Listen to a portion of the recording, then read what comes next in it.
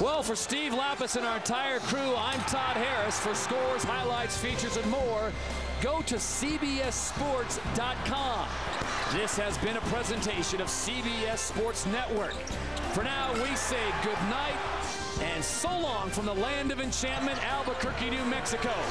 For the coach, now let's get it to Adam Zucker in the studio in New York.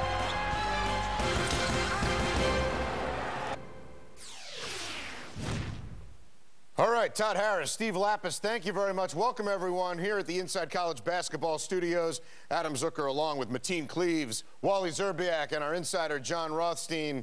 And, and look, when you look at teams that are ranked and they win, you don't think it's an upset. But for San Diego State to go into the pit against a tough New Mexico squad and come away with this win, this was something here.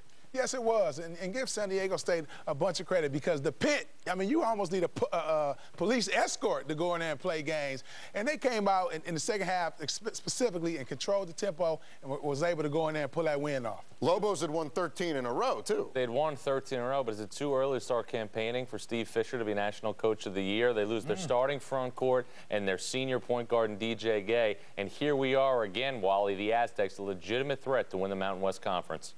Thank you, San Diego State. Guys, someone can win a hard-fought road game. This was a gutty win for the Aztecs. Steve Fisher, a lot of credit to you to go in there, tied at halftime, take the game by storm in the second half. Phenomenal win for and the they, resume. And they have now won 56 straight against unranked opponents. We thought maybe this would be the one that they drop. There was another